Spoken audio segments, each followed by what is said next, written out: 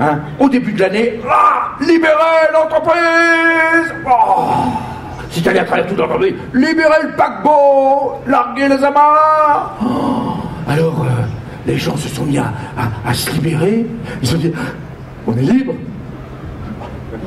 Mais on ne savait pas qu'on était enchaîné. On n'était pas enchaîné, on n'était pas aussi libre qu'il fallait qu'on soit. Ah bon?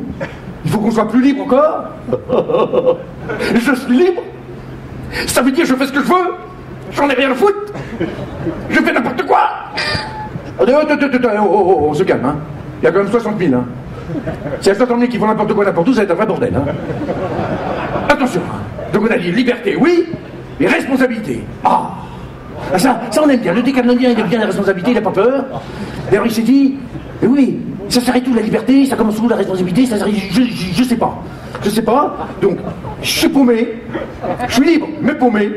Hein? Mais c'est normal, hein? C'est normal. Hein?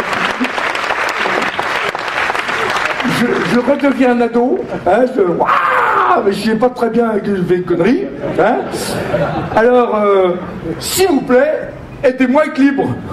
Hein, libérez-moi, pas sous condition. non, non, mais libérez-moi quand même, mais tenez-moi par la main quand même.